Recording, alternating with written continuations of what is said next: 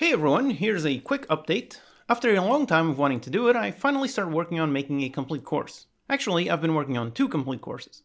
First, the response to the visual scripting videos was great, and there isn't much content on it, so several weeks ago I decided to do a complete visual scripting course.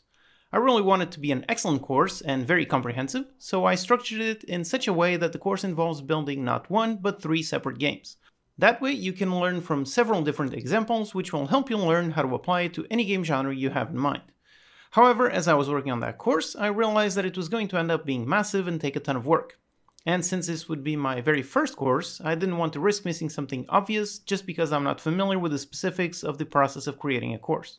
So I changed gears and decided to work on a supposedly smaller course. So this one is on making a Builder Defender game using C Sharp.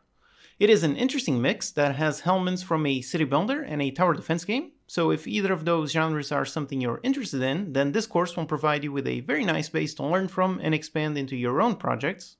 With the knowledge gained from this course, you'll be able to make city builders, RTSs, tower defense games, tycoons, village simulators, and so on. Like I said, this was meant to be a quick course to test out the whole process, but really turned out to be almost as massive. As of right now, I'm almost done with writing and validating the whole course, my normal video tutorials are usually somewhere around 2 to 300 lines long, and the text for this course is already over 6000 lines long, so yeah, it's quite a bit more. But my main priority is always quality, so even though the scope for this course got a bit too large, I'm still very happy with the result. The game is nice, it's fun, it's built in a very clean way with all the systems nicely decoupled. It's also built in a very modular way, so it would be really easy to add more resource types, building types, and so on. My main goal with this course is to gather feedback and apply everything I learn into making the complete visual scripting course better, so I will make this one as cheap as possible. Now with all this talk about courses, if you're someone who is only interested in small tutorial videos, then don't worry, I will still continue making those. In fact, as I build these courses, I'm coming up with lots of topics that would be great as separate videos. For example, on the Builder Defender course, I made a really awesome shader for constructing a building, it's a really awesome effect, although it's pretty simple to do, so that's exactly the kind of thing that I want to cover in detail in a separate video tutorial. So with this video, I just wanted to keep you all posted.